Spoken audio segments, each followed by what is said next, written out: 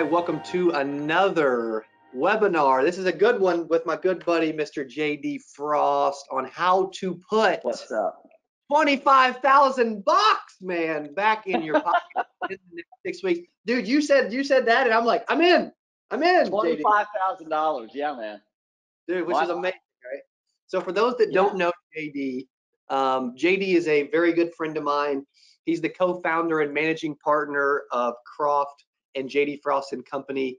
Uh, they are the headline sponsors of 8% 2020, which is amazing and huge. Um, appreciate everybody Okay. being here. Uh, we are recording this, and we promise that will not be the last technical difficulty because neither one of us are geniuses. Okay, when it comes to that. Now, JD is a genius when it comes to money, though. All right, he's a genius when it comes to money. We met at 10x3 in Miami, and I was watching Instagram stories, and Cardone keeps sharing this dude on Instagram, like, oh, he bought a diamond ticket, another diamond ticket, another diamond ticket, another diamond ticket. And I met JD because he actually got uh, a private suite at the 10x Growth Con in Miami. Right, so I showed up, met some people, met JD, and I'm telling you, the one thing I love about JD, there's a few things I love about JD. J, JD is a connector, a master connector, great with relationships. It's hard not to like him. Once you get to know this dude, it's hard not to love him. Um, he goes to a ton of events. And I admired the fact that you jumped in on a, a massive suite at 10X and you bought like seven diamond tickets or something. I don't know. How, many was it? Oh, the diamond tickets. I bought tickets in the executive level. Like I did the sponsorship down there. I mean, that was a hundred thousand dollars sponsorship. Um, it's nuts, but I mean, it's paid off because I mean, over the over the last year, year and a half, I mean, we've gotten a lot of recognition from it. So.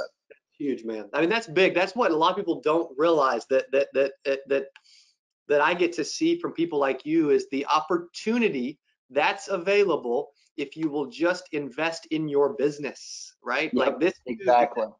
i'm trying to spend money to keep up with you man. Like i'm i'm i'm i'm trying to compete but i'm struggling man i, I am uh, Oh man, I mean, it's uh, you know, it's a balance. You got to keep a balance, and that's what we're going to be talking about today. Is is is is this balance of between you know what's what's business deductions and what and what's uh, hobby. So what you know, I appreciate that introduction. I really do. And I mean, you want to kind of like jump jump into it here.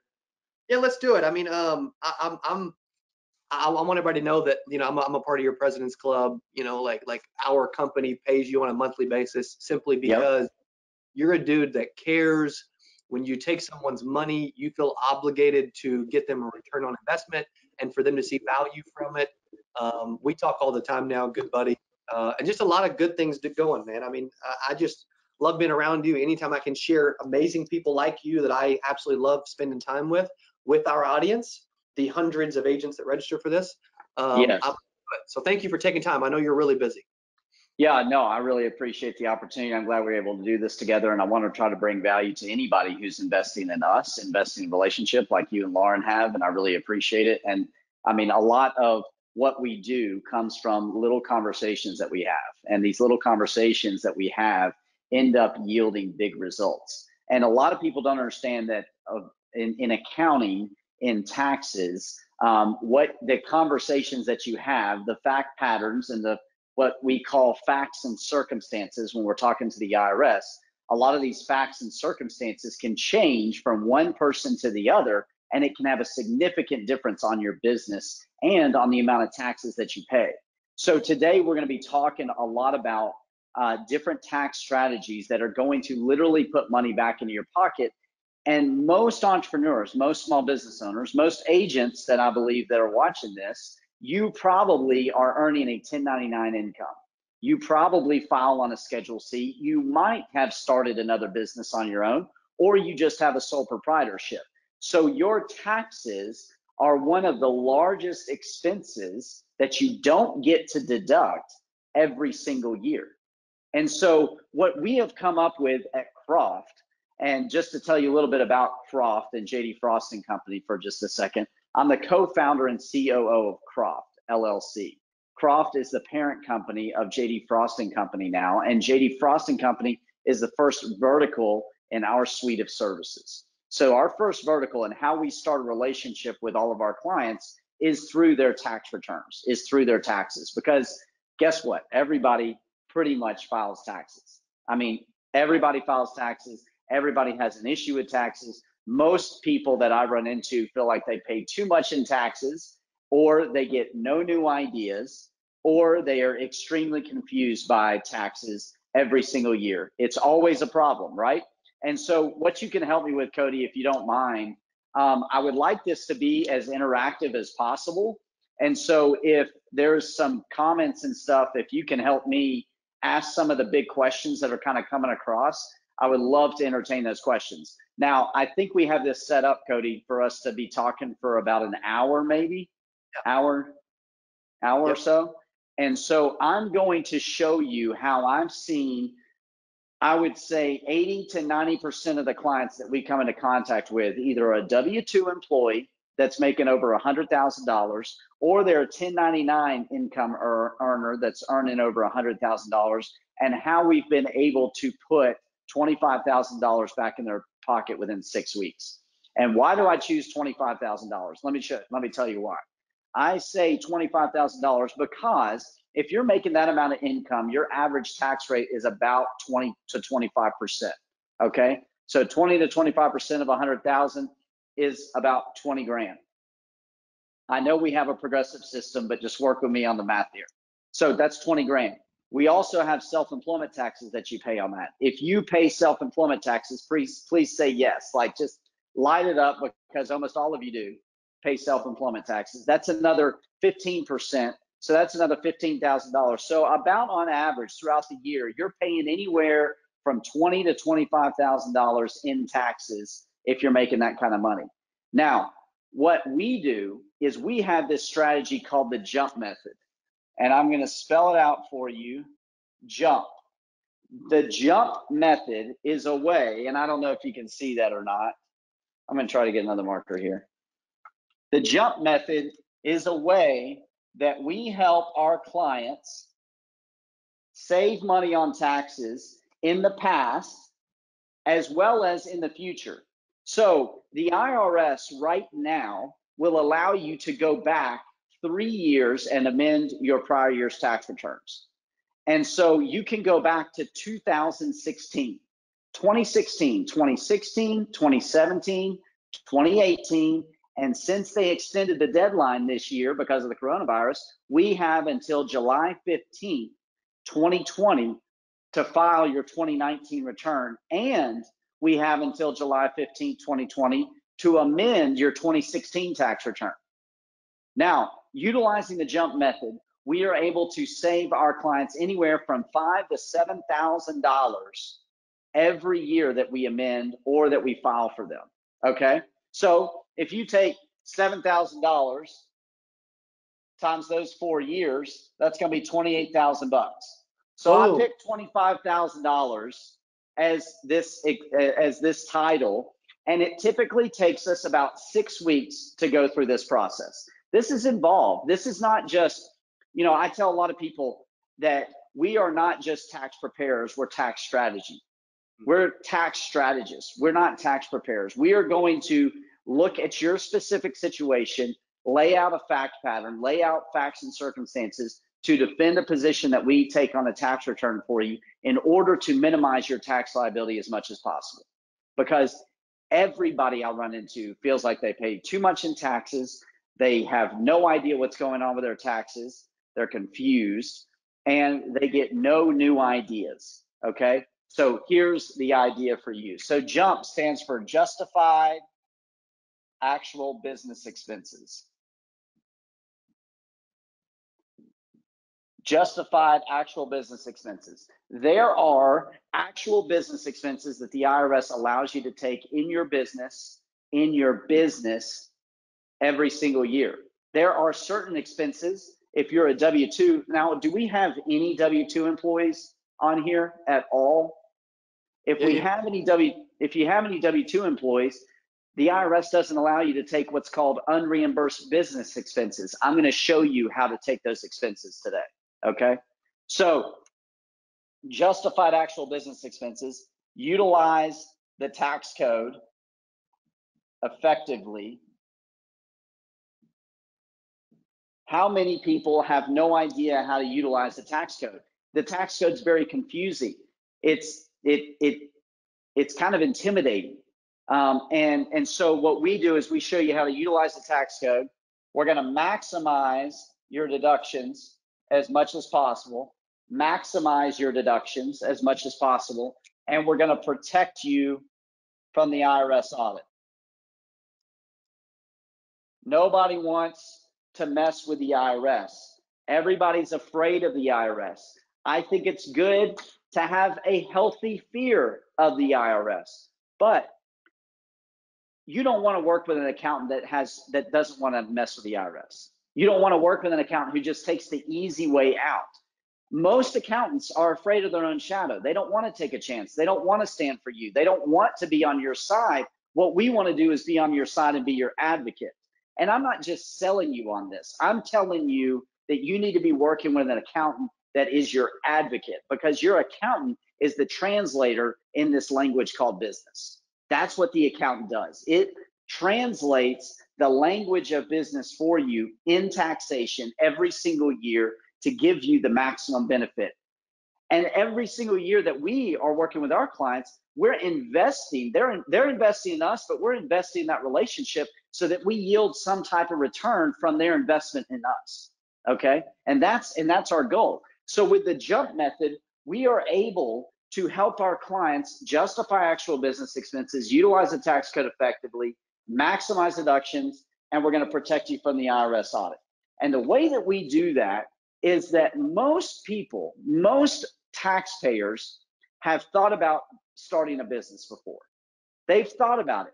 They've either started a business and nothing ever happened, but they've thought about starting a business. And now, with the way personal branding exists and uh, Instagram and Facebook and showing our lives and everything that's about us, there is a business somewhere inside of you that you just haven't found yet. And so, what we do at Croft is we help you jump. We help you take that leap. We help you take the risk of starting a business. And what's cool is is that the IRS allows you to start a business back in time. And the way that they do this is there's a revenue procedure called Revenue Procedure 8435 that allows you to start a small partnership, which is 10 partners or fewer. And you can actually go back in time and record all of your business activity. Now, some business owners, and you might realize this as a business owner yourself, Cody, you start a business like you really don't make any money the first month or two or three. Or sometimes small businesses don't earn any money in the first year because they might have just started it because it was a hobby. They might have just started it because ah, I just wanted to dabble in it. I just wanted to try it out. I started um, that multi-level marketing deal, right? Like I started selling CBD oil, right? Like that's that's one multi-level marketing is CBD oil. Well, you spent a lot of money, but you never actually incurred any income. Well, what we do is we help you create this business, create this business based off your education, based off your expertise, and based off of your skills. That's three things that are very important skills, expertise, and education. We look to see if you have these certain skills, expertise, and education revolving around your business, and we show you how to put this business together. And it's very important when we're doing this because when you own a business, when you have a general partnership, and that's what we start is a general partnership, you're able to take a lot more deductions inside that general partnership than you are as an individual. I don't know about you, but I come across a lot of taxpayers that really have no idea what they can deduct and not deduct. I talked with a real estate agent yesterday. We got her tax return done. She ended up owing about $12,985. And I know that because I look at every tax return before it goes out the door because I want to see what the answer is. And I was like, man, I looked at her income. I'm able to do this pretty quickly because I do it all the time. I looked at her income, I looked at her taxes that are due, and I'm like, there, there, I looked at her schedule. See, there's there's stuff missing. There's not enough deductions. There's more deductions there. So I get her on the phone and I talk to her about it. And that's a big part of the jump method is we talk to our clients. We have what's called an expense call. Once we form this business, we have what's called an expense call and we go through your life. You know, I'll, I'll pick on Cody. Is it okay for me to pick on you for a second, Cody? Oh, go for it. Uh, so Cody is on Instagram all the time. He's on Facebook. He's doing webinars. I mean, he's working out on Instagram. He is uh, doing webinars on Instagram. He is shopping on Instagram. He's doing everything on Instagram. And as he is doing that, he is building his brand for his business. So anything that he's wearing, anything that he is doing while on Instagram, anything that he's showing while he's on a vacation, while he is on at a conference, while he's putting on a conference for sure. Boom, there you go. There's the socks. Exactly. I don't have my socks on today. I've just got orange socks on today. Uh, but like he's got all these different aspects of his business and this is the power of social media too that most people don't understand. We're not only branding ourselves but we are providing proof and support and facts and circumstances that define why we took an actual business expense. And so part of the jump method is we help you create this entity. We help you put together a business plan and once you put together this business plan, then you have identified exactly why you spend what you spend in your business, which further supports the deductions that you take on your tax return, which then is going to reduce your income. Okay, your taxable income.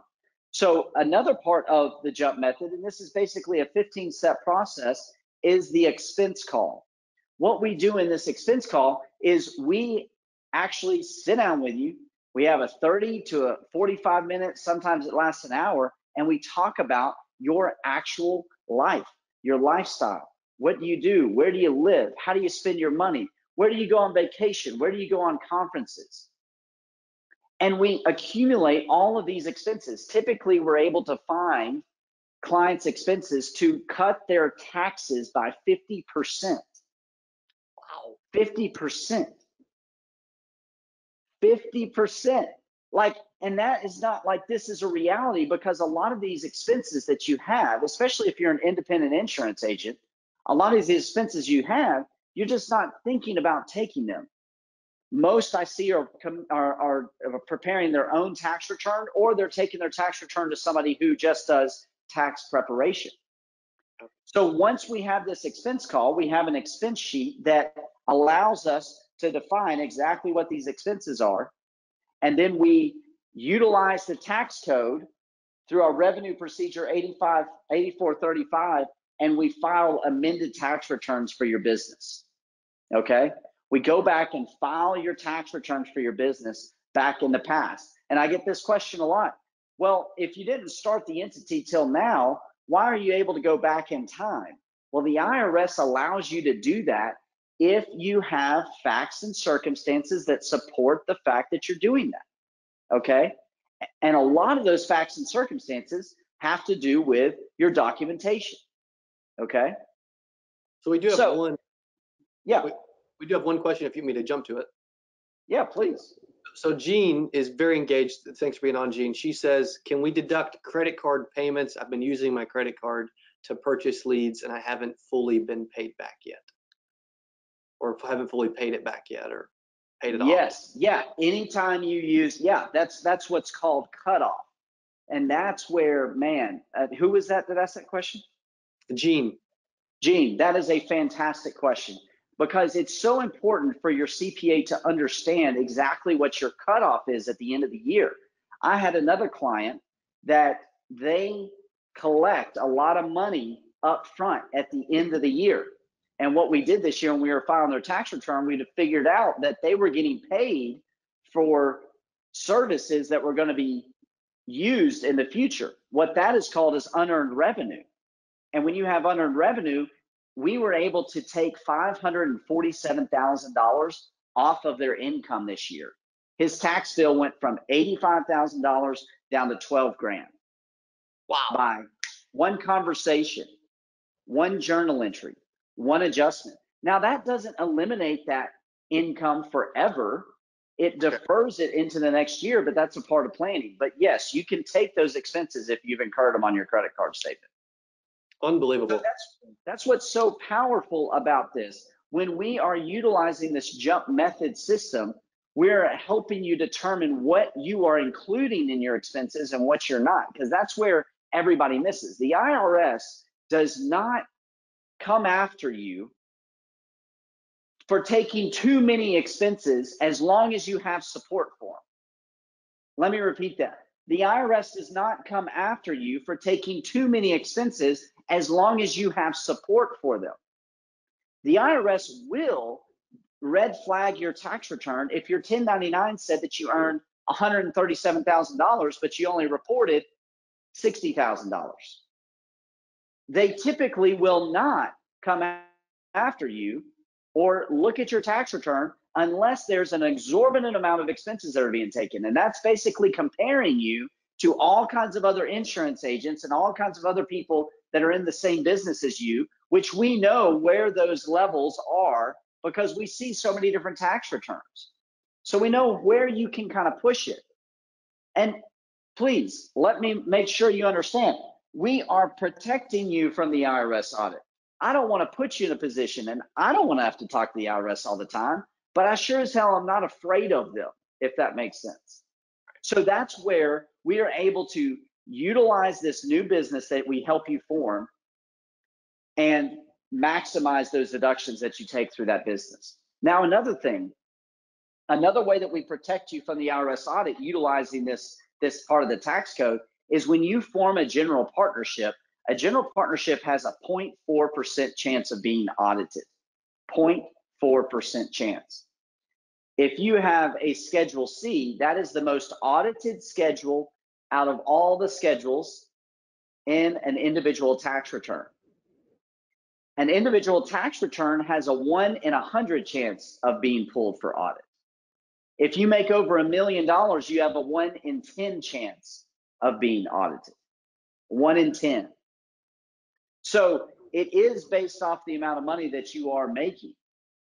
So what we want to do also as a part of this forming your business, we're gonna we're gonna create this business for you. We're gonna form this business. You've already got income. You can record that income through your business that you've got on your 1099. Take the business deductions through the expense call that we have for you. And then we're gonna also put together a business plan to support what this business does, why you have it set up, and why you're able to take the deductions that you're able to take. Okay. Once you create this entity and you file those tax returns, then we go back and amend your prior year tax returns on your individual return in order to maximize those deductions and to take advantage of the business deductions that you've taken.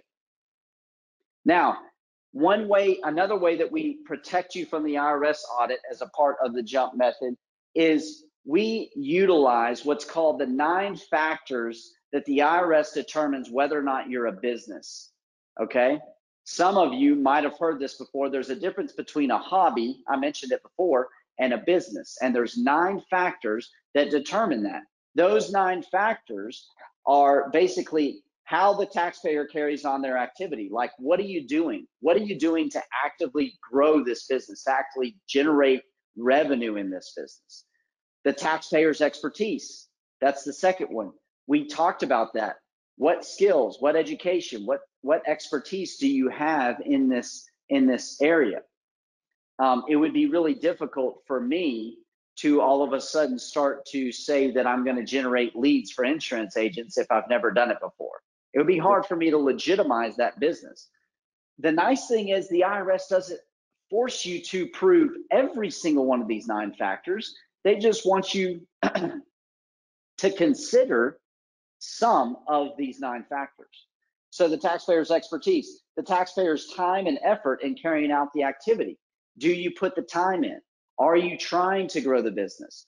Is this just something that you just kind of work on on the weekends every now and again? We have to document and consider that.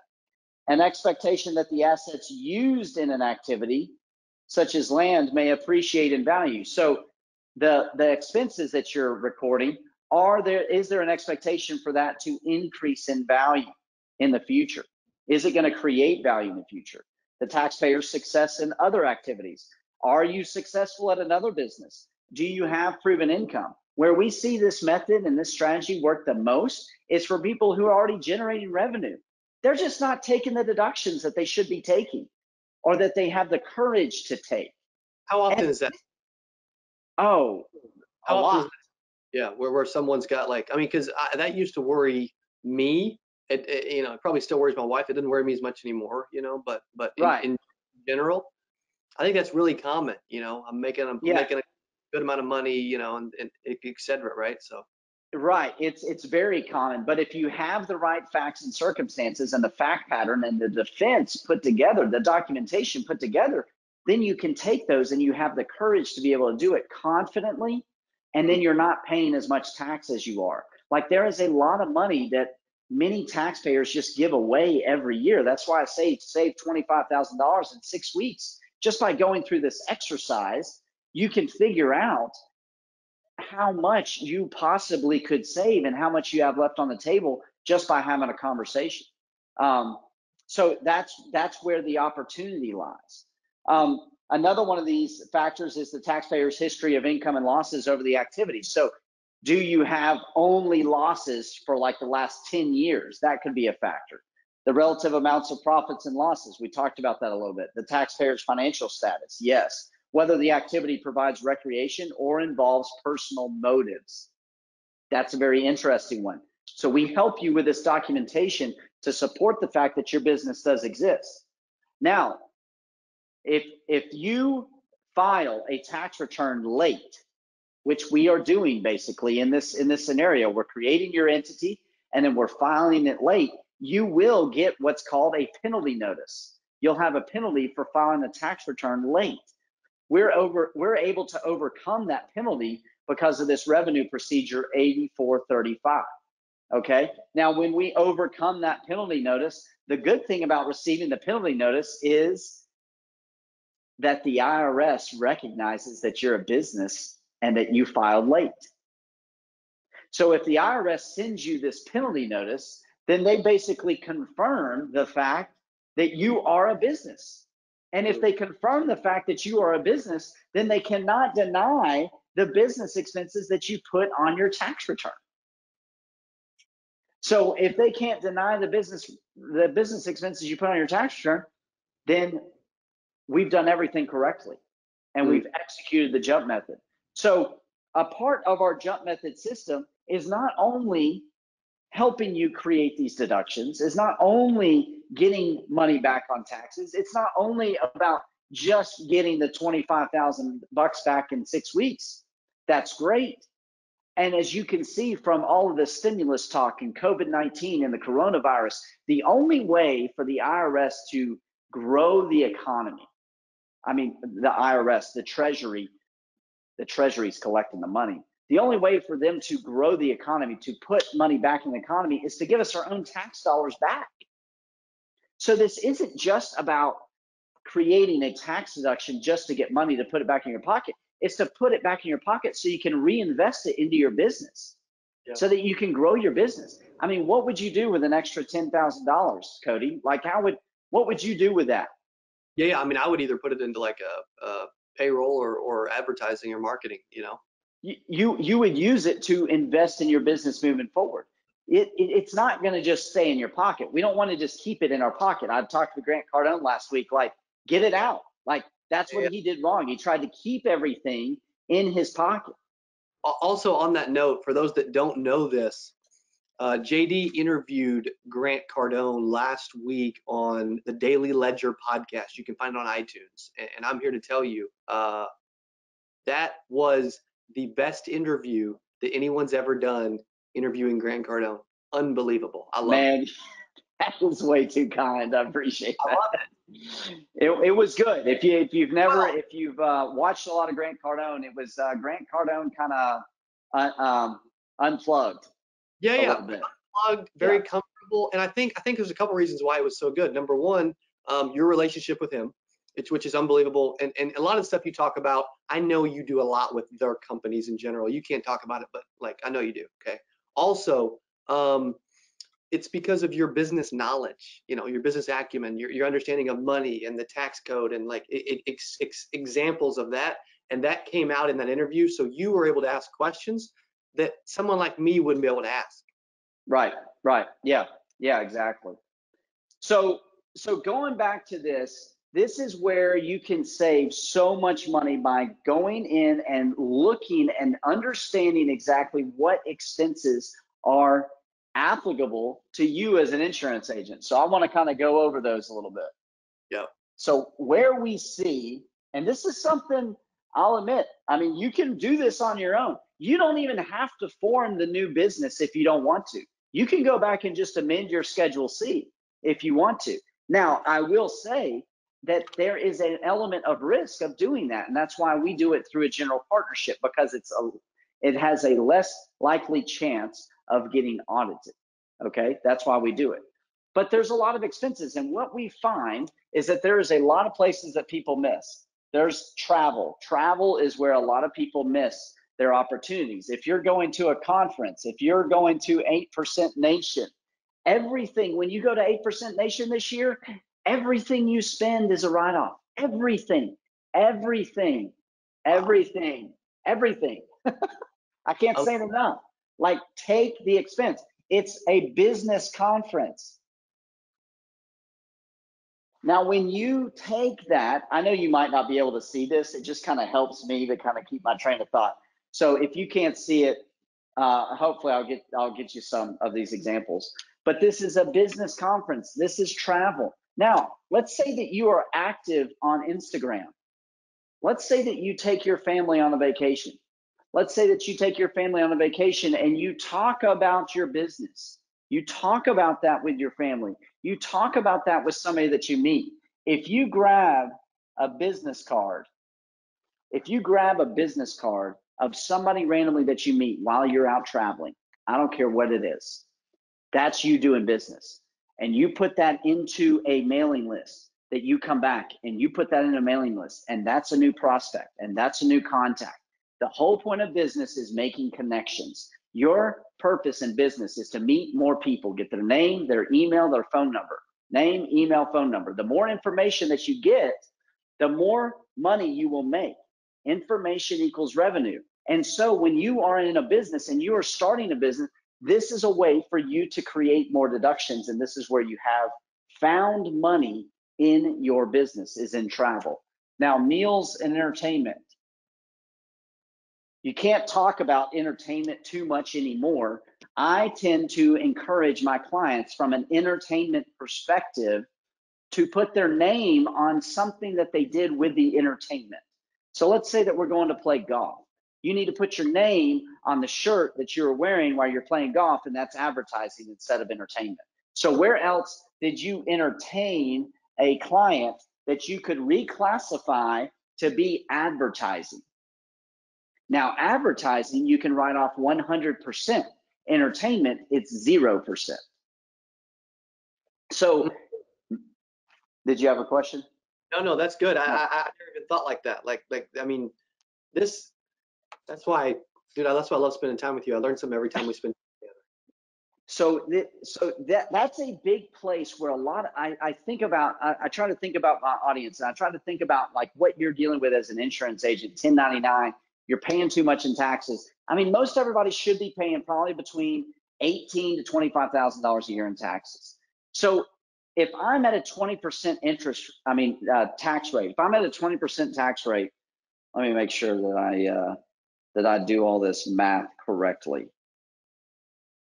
You know, you know, most everybody's paying 18,000 bucks. If I'm at a 20, if I'm at a 20% tax rate, I just need to find $25,000 of deductions and I will save $5,000 in taxes. Here's the thing. Here's the thing. You've already spent this money. You've already spent this money in the past. It literally doesn't cost you anything to go back and do this. And this is where you have the most found money. Like I was saying, the Treasury of the United States puts our tax dollars back into the economy and this is a way for us to actually grow our own, create our own stimulus by utilizing what the tax code already allows us to do and amend our prior year tax returns. Now, you might be like some people I come across and they're like, oh yeah, I never pay hardly any tax. I only pay like four or 500 bucks a year. You're going to end up in jail. It's going to happen. Like uh, there's there's an amount of of taxes that should be paid, a reasonable amount, but there's also an amount of, of taxes that shouldn't be paid. So where do you find that happy medium? But if I find $20, $25,000 of deductions, then I'm going to save $5,000 in taxes. That's $5,000 in every year. If I can amend the last 16, 17, 18, and 19, that's going to give me 20 grand, $20,000. Now you file those tax returns, you get that return. It's going to take about 12 weeks to get that check back in the mail. Okay. Now, if you do this and you and you find $35,000, let's find $35,000 of expenses. 35 grand, that's $7,000 a year. There's your $28,000. So 28 grand. Travel, big place to find it. Instagram, if you are active on social media, I encourage you for any reason other than like for no other reason than for tax purposes, get active on Instagram and social media and personal branding and give yourself the opportunity to take advantage of writing off more expenses. Yep. Because you have the ability to. I wrote off this coat. I wrote off this shirt, everything because it's being seen. It's a part of what you're doing. So your meals and entertainment, your travel. I talked about this before, but advertising. What are you spending money on? Where are you talking to people about your business? Most 1099 people that I know, independent contractor, they're talking about their business everywhere. I talked to one of my one of my guys that uh, my daughter is 13 years old and she plays select volleyball.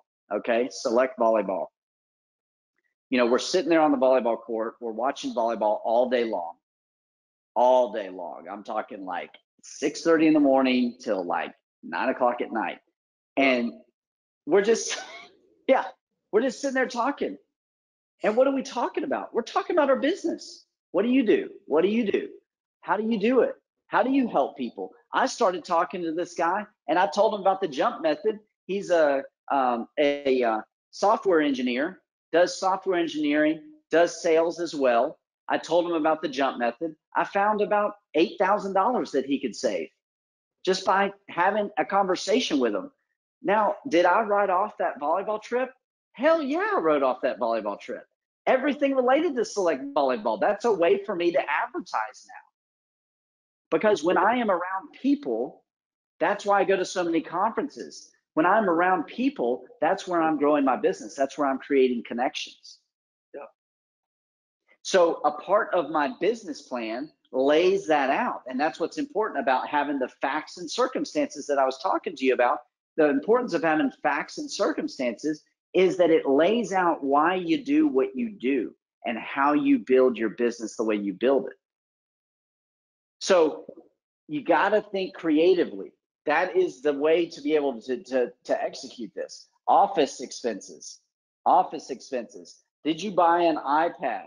Did you buy AirPods? Did you buy a new phone? Telephone expenses, all of those. Any technology that you're using, wireless internet at your house, anything related to those to those technology expenses is another area that I see a lot of people forget. They're like, Oh yeah, well I did buy my kids a couple iPads. Well, yes, you bought your kids a couple iPads. Do you ever pick up that iPad and get on it and do some research according to your business? Mm. You do. The, Yep. the, the, the facts and circumstances. What are you doing? Do you use your home? Did you buy a desk at home? My wife and I, we redesigned, my wife's an interior designer. We designed this uh, office space in our hallway. We wrote off the whole thing. We wrote off the whole thing. Now, it takes having these conversations in order to determine what you are going to write off and what you aren't going to write off. But those are some examples. That's where I see a lot of people miss in this advertising and the entertainment that people think they think they lost. But if you document, write a memo as to why you did what you did, how you did it. Why did you why did you write that off? Well, we had our sign at the event and we had a big golf event. yeah, it was entertaining, or we went fishing, but we put our sign on the boat. That's advertising. Mm. That's advertising. So this is a phenomenal way for you to find this. And $25,000, if you have uh, a, a, gross income of $100,000, $150,000, you'd be surprised at how quickly you can find $25,000 of expenses. So I'm going to stop right there for a minute. Is there any other questions or anything that have come up at all? Um, is everybody, do you, do you like this? Have you learned anything? Um, oh. Love some feedback. I'm, I'm, yeah, they're jumping in chat and, and loving it. I'm freaking loving it too, man. Uh, we had a few other questions since then. Um, one person's a realtor and just curious, um, you know, if this works for that and tips there. Yes. Yeah. Any business. So anywhere, that's the thing that's so great about this. It's any industry. You can create a consulting company. You can create a realty company. You can create any type of company you want to. And the nice thing is, is that the, the government in the United States, and this is what a lot of taxpayers don't understand, the government of the United States give you gives you the opportunity to fail. It's okay to fail. So it's okay to show a loss. It's okay to do that. It's okay not to have income. You can't have zero income for five years in a row. I like to recommend that you have income at least two out of five years. So when we go back in time and we create this business, you were thinking about the business. And just because you were thinking about the business, but you never acted on it, didn't mean that a business didn't exist.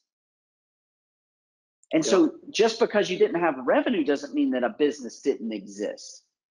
And so this is a powerful thing. We're getting some clients hundreds of thousands of dollars in returns. I found a client, listen, like this is a big client, and this is a big, uh, this is the biggest one I've ever seen before. We went back, amended their prior year returns. We got them a total of $2.1 million back. $2.1 million. Like that, that doesn't cost that taxpayer any money. That's free money, literally going back into their hands. Unbelievable. Goodness gracious, that's awesome. Uh, also, um, Shanae says, is it important to keep all your receipts for anything you purchase throughout the year? Yes, it is important, but it's not required. You don't have to have a box of receipts at the end of the year. You need to have the bank statements. You need to have the credit card statements. The whole point of the receipts, and this is a common misunderstanding, is that the point of the receipts is if for some reason something happened to you and later on down the road you were having to explain why you did what you did, most of the time people turn the receipt over. They're like, okay, I ate with so and so. This is what we talked about. This is why we met. And they put that explanation on there. You can also write that on your credit card statement and it serves the exact same purpose. So you don't have to have every single receipt. It's more of a mechanism to train you to record why you did what you did. Francisco says, is a bank statement proof enough for the IRS? Yes, yeah. The first thing the IRS is going to ask of you is, do you have any bank statements? And and part of our jump method system that we that we help you with is we encourage you. You need to have a separate business bank account for all these expenses. So the thing is, when the IRS comes in and audits you, they ask for your for your bank statements. Well, if you run everything through your personal account, and I would encourage you, if you're an independent contractor, stop doing it through your personal account because then you're going to have to hand them the bank statements that have all of your personal stuff on there. And you don't want to show them any of your personal stuff because then they're going to say, well, where did that money come from? Where did that deposit come from? Oh, well, that was a gift from my grandma that she gave me $10,000. Well, where did that, you know, they trace it. They call it tracing laws. Hmm. So if you have a separate business bank account, which is what we encourage when you form your separate business, then you are able to just hand them those statements and everything in there is business. Yeah. Everything in there is business. Uh, Edgardo says, uh, what if you haven't filed taxes in the past two years? Great question. We help people all the time who haven't filed taxes in the past two years. And you probably would want to utilize something like this as much as possible because what's nice is we can go based off of estimates. We can go based off of conversation and documenting and documenting as much as we possibly can through memos. But you really need to have the documentation. If you do go into an audit, you're going to need those bank statements to support why you took the deductions that you took. But not filing the last two years isn't the end of the world. It's just something that you need to get caught up. Hmm. Um, yeah, Clint said hence the socks. Uh, uh, Mark said learning tons. Um, Vito Manco, what's up, buddy? He said, what about leads, uh, paying for leads, mileage, uh, you know? Oh yeah, yeah, yeah, exactly. So if you're paying for leads, that would be part of, you know, I would be putting that into advertising. And then, Um, go ahead. yeah, but I'm guessing, you know, mileage is travel, or at least you're used to. Mileage, mileage would be travel. Um, I get this question all the time. Should I write my vehicle off or should I take the mileage? And the best answer I have for you is it depends. It really depends on your facts and circumstances. If you're driving your car 60,000 miles a year and 35,000 miles of that is is a business miles, then you're able to take about half of those and that's going to be your write-off. So let's just say it's $17,000. Well, if your vehicle costs you 20 grand, you really shouldn't write that vehicle off in the first year. You should utilize the mileage so that you can take that 17,000 mile, that $17,000 deduction every single year. Now, mileage is a place that can get you in a lot of hot water with the IRS. And anybody who takes mileage on their tax return as a deduction, I highly recommend you use what's called Mile IQ. It's the easiest mileage app out there. You're able to swipe right for business, swipe left for personal, and you create an account. I mean, you create a PDF all the time. And I'll tell you a little secret. I'm not very good at this, okay? I am not very good at it at all, but no matter what, I've got that Dadgum app on my phone. And what it does is it logs your mile, it logs your activity all the time. I probably haven't actually categorized my miles in the last two years, I bet. But if I ever need to go back and create the document that's going to support it, I'll have all those all those drives logged. And the IRS is really looking for this is the thing that a lot of people don't understand. If you've got a piece of paper, it's amazing. It is amazing what you can accomplish when you just write something down and when you have a number on your tax return and the IRS says, prove it to me, and you hand them that piece of paper, almost every time they go, oh, that makes sense. Next. Wow. Just the documentation alone. And that's the thing. When when you when you hear and when we're talking to people and they're saying, why do you cost so much? Why this? Why aren't you like $300? Well, because we take the time to write this shit down so that when we come across and sit across from the IRS, we can hand them a piece of paper and they say yes to a deduction that we came up with for you. We didn't make it up out of thin air, but we came up with it that when we filed your tax return, we properly documented that. Hmm. So that's where the value is. Our uh, our buddy Eric DeJohn um, says, what what if you didn't make 100k during 16 through 19, but you worked full time towards driving, trying to drive revenue? Yeah, exactly. So if you didn't work full time, then you probably have a lot of deductions that are that are taken. So it depends on what your income level was in those in those tax years. And did you actually pay tax? Because remember this, and this is something a lot of taxpayers miss, is that if you didn't pay any tax in, you can't get any refund back. Okay.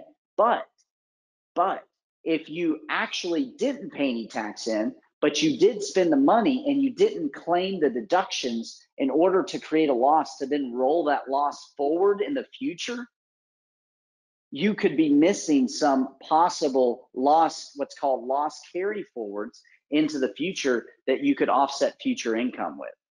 Hmm. So that's one thing. Like, no matter if you're making money or not, the accounting is extremely important and it can control how much tax you pay in the future or in the past. Well, Ke- Kevin says great stuff. A says thanks. Angela says, dude, you rock. Uh, I appreciate that. yeah, he's Paul says, how do you create a partnership when you are a sole proprietor?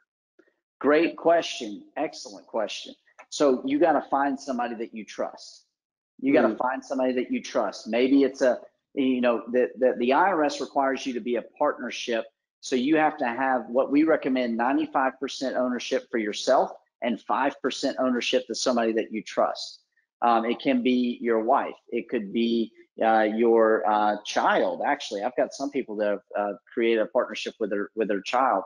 It could be with a good friend. It could be somebody that you work with. I've had two guys that I helped down at Cardone's place. Um, we did this strategy, saved one of them $17,800, saved another one $19,000. And uh, they were partners in each other's entities. So they just flip flopped it. So one was 95, the other one was five uh, in each other's entities. And so if you're a sole proprietor, we get this question quite a bit. You can create a partnership and just find somebody that you trust.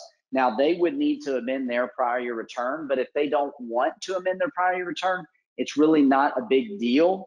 I haven't seen too many ma- what's called a matching notice on that, but uh, but that is possible. Wow.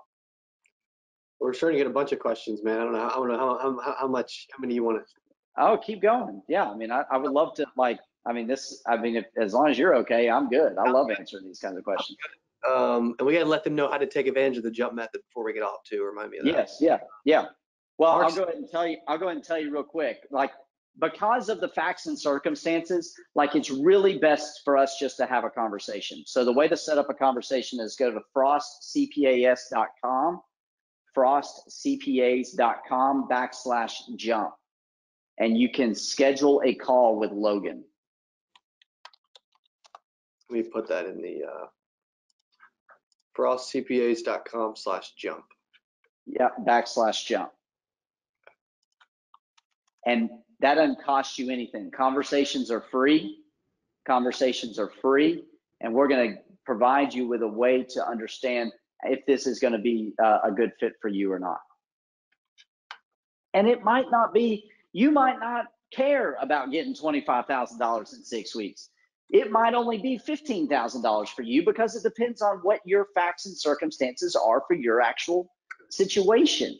But moving forward, it could be a lot of money. I mean, imagine if you paid $5,000 too much in taxes from now to the end of your career. How much money is that? Yeah, it's a lot. Yeah. That's a lot of money. It's Let a me lot show- of money. Let me show them this real quick, JD. I'm um, let me show my uh, my screen. So I've actually pulled up. Um, oh, that's Logan right there. there, there he He's is. jumping.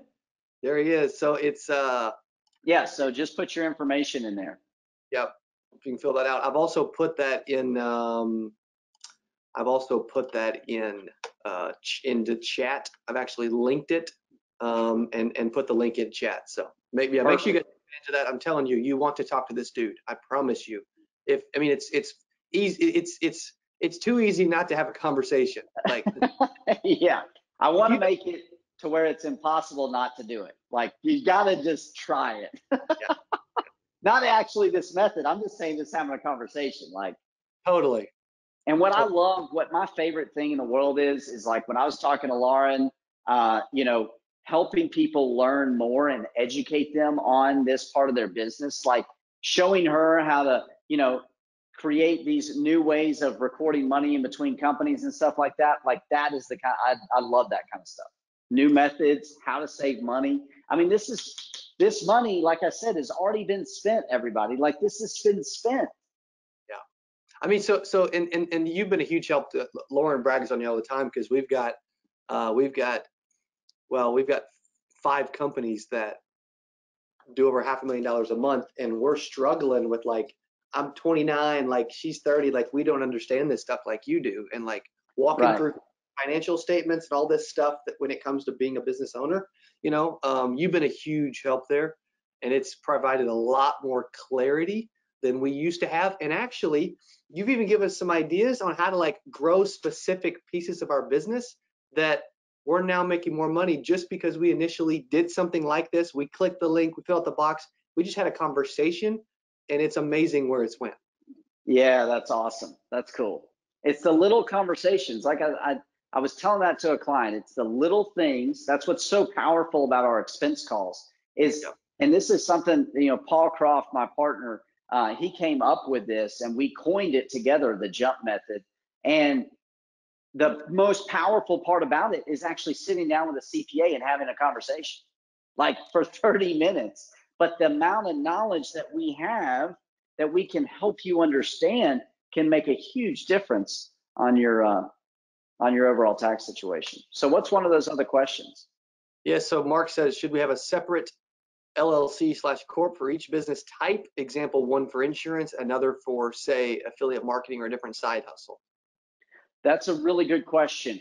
What I would do to begin with is I would keep it all together into one entity for simplicity purposes. I would keep it all together and I would start to track the revenue separately so that you can see if that business, the affiliate marketing or the the other uh, type of business that you might start, to see if the revenue is big enough. And when I say revenue is big enough, I'd say over a hundred thousand dollars is the is the time to break off a company into another company. Or if you have strong liability purposes for some reason. But I would keep it all together because number one, that makes it real simple for you. Number two, it gives you a lot more um, flexibility on your ability to write off expenses relative to that business. You can start to be a lot more creative in how you're building out that business plan. That's good. That's good. I'm, I'm trying to keep up with some of these questions here. This is good. Um, Vito, so what about charitable giving? Um, Yep, charitable giving is is incredible. It's awesome. It's an itemized deduction. It is limited to 50% of your income. There's talk about the phase four of the stimulus package uh, providing a lot uh, less limitations on charitable giving, but charitable giving is always a good thing to be doing. Myra, that's a great question. So, so if you're, so if you are going back to review returns, how are we documenting if it already happened? Um, make sure I understand the the question correctly. Yeah. You can okay. So if you're saying okay, we're going back reviewing the return, and we're like, hey, we had these actual other expenses. We document those other expenses through just simply through memos. We just basically provide support based off our uh, interviewing you, talking to you, uh, understanding why we're taking this deduction and documenting that fact. That's what we spend a lot of time doing is we we have what's called work papers. We call them work papers, and this supports the positions that we take on the tax returns. Yeah. I mean, I've got a little bit of a question. I mean, does it, I don't know how to word it, but you know, obviously, you know, you helping them with the jump method isn't free, but it, if you're going to help them get money back, like it, it, it, it'll end up feeling free afterwards. oh yeah. I mean, so, I mean, here's the thing. I mean, most, most people that we work with, um, and, and we have to be very careful. I have to be very careful from a compliance standpoint because we cannot get paid based off of what we get you back. I'm not doing that. What I'm doing is making sure that you are filing a compliant tax return. If it so happens that you get a refund because of filing a more compliant tax return, then so be it. But what we do is we do not charge more than 40% of what your tax savings are that we generate.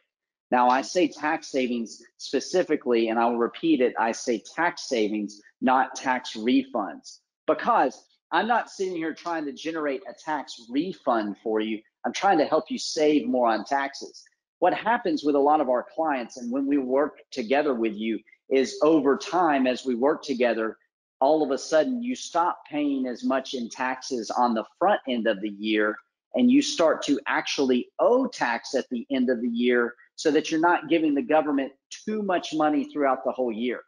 It improves your overall cash flow. But we plan for that so that you're not surprised by that amount of money that you have to pay on April 15th but you've planned for it and you've planned for it in a way that allowed you to invest your tax dollars throughout the whole year rather than giving it to the government and letting them hold on to it the whole year. I mean, because I mean, I hate paying estimated tax payments. That's another one of our five pillars of mastering tax strategy is I encourage people to actually, when they start to make over $250,000 a year, I encourage a lot of business owners to form S corps in order to avoid having to pay estimated tax payments.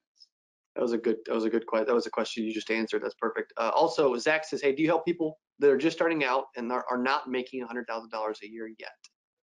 Yes. Yeah. We we help all kinds. I have a sister company called O'Brien Tax Service um, that uh, provides a little bit more affordable tax service. To be honest with you, it works better for that type of income level that you're at the beauty of O'Brien is you got Stacy over there and she has the same kind of conversation with you.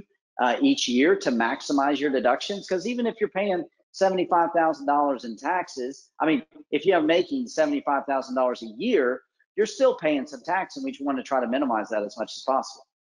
Totally. Um, Angelo says, what about depreciation on a car? Great question. Awesome. So we were talking about the uh, mileage. You can Yeah. take depreciation on a car if you write the car off. I recommend that if you're going to write a car off, that you ap- ap- apply only 80% of that write off to business because there is no way that you can argue with the IRS unless that vehicle stays on your lot at your business all the time and is a business asset 100% of the time, it's hard to argue that you're not using that asset for some personal use. Okay. So, you know, I, I, I like to say that I am a more aggressive accountant, but there's some places where I know there's no, there's no room for aggressiveness. That's good. Uh, Lorene says, what is the best method for proving time spent on social media to convert to a monetary value? And what formula do you use? Great question. Man, that is a really, really good question. So here's the thing, and I mean, I, I have a simple answer for you. You're not going to like it, but you cannot, you cannot deduct your time. That's a lot of business owners don't understand that, and it's like, well, but if I could have been billing for my service at that time, I should be able to write that off. You can't write off your time. You can only write off the expenses related to that activity. So your clothes relative to that, the place where you are when you're shooting that video. That's a lot of the documentation that can support why you wrote those things off, where you actually handed somebody a credit card or you paid them cash or you wrote them a check. Who writes checks anymore? Does anybody write checks? Anymore? I actually write checks. Um, you don't know, do you, Cody? You're like, that's outside of my. I don't know.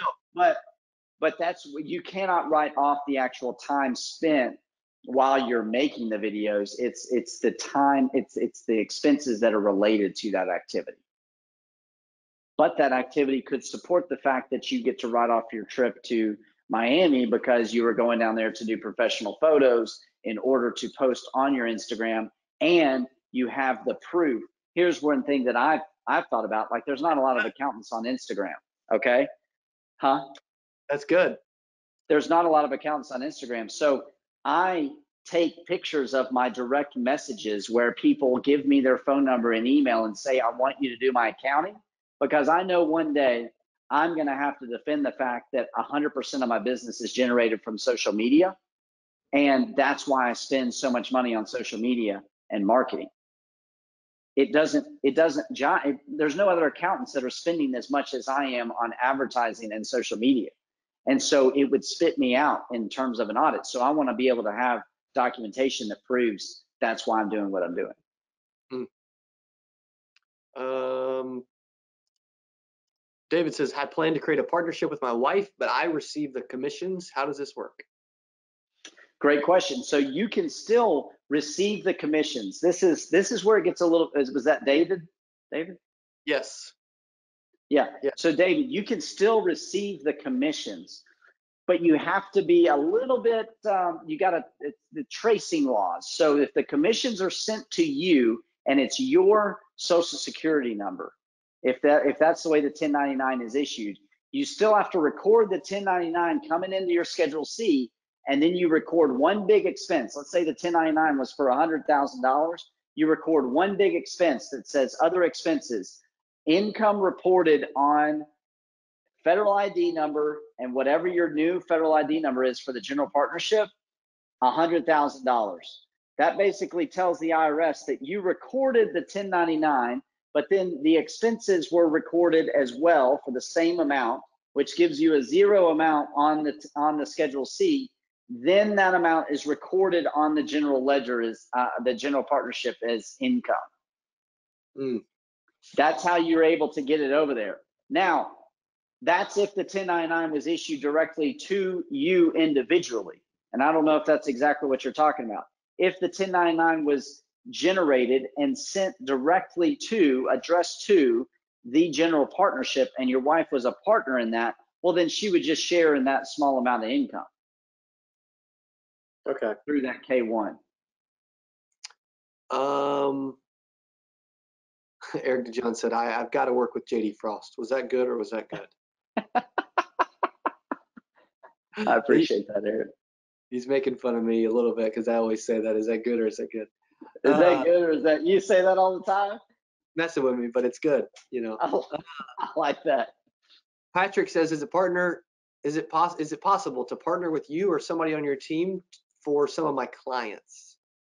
Yes, of course. Yeah. I mean, set up a time with Logan. Uh, go to frostcpas.com backslash jump, and that'll uh, you'll be able to schedule a time to uh, to meet with Logan for sure.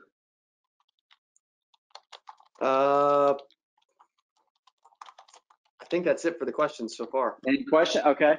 So that is, I, I just want to make sure that we understand where we're coming from here. The jump method system allows you to go back and amend your prior year returns in order to get tax dollars that you have paid already in the past and get them back. And that's where I see a lot of clients, a lot of, a lot of opportunity for business owners is to go back in the past and get those dollars back. And the IRS has different parts of the tax code that allows you to do that. And that's what we show a lot of our clients. Okay. I'm gonna show that again really quick. Um, all right, so again, frostcpas.com Yeah, that's Logan there jumping. forward slash jump. He's jumping in the air and I don't Yes. it's money or what that is, but it look it's good. Uh, I think it's money. is it? Maybe it's rain. Maybe it's rain, man. I don't know. I don't know. I like it. I like it. So, so make sure that uh, you guys go there. Um, you fill out a you know name, email, phone, pretty easy, and and, Yep. and to schedule a call. So definitely do that. Conversations, conversations are free. I mean, that is where we're going to provide you the most value. If anything, you have that conversation and you have a plan to walk away with. If you want to execute that plan on your own, that's fantastic. If you want us to help you execute that plan, we would be happy to do so for you. So Good man. Well, you're getting a lot of thanks and and and, and appreciation, and and you you're the man, JD. Thank you. I really appreciate it, Cody. Thanks for having me on here. Thank you for everybody watching this. Um, I really appreciate the support. These are fantastic questions. This is one of my favorite things to do. I plan on doing it a whole lot more, uh, teaching these uh, webinars and, and this kind of stuff. So, yeah. Well, we need a couple more before eight percent because JD again um, is headline sponsor eight percent and speaking at eight percent and going to be there in a big way at all the little parties and everything else. So I'm sure Yeah. you'll bet I'm sure you'll be able to buy him a drink and, and ask him a million tax questions. So oh yeah, excellent. I love it. I love it. all right, buddy. Thank you all for being All here. right. Thank you. Appreciate it. All right. Thanks. Thanks you make take advantage of the jump method. Again, this was how to put 25k back in your pocket, and JD's going to be the man to do it. So make sure you go to frostcpas.com/jump and schedule that call. Thanks again, brother. Thank you. Hey, if you love this video, stop what you're doing, click right there. I've got another phone sales videos with tips specifically for you to convert people over the phone. Click on that video and I'll see you there. Today I want to talk about five easy phone sales tips that you can implement right away and see success with. Okay, so stay with me as I go through each one of these.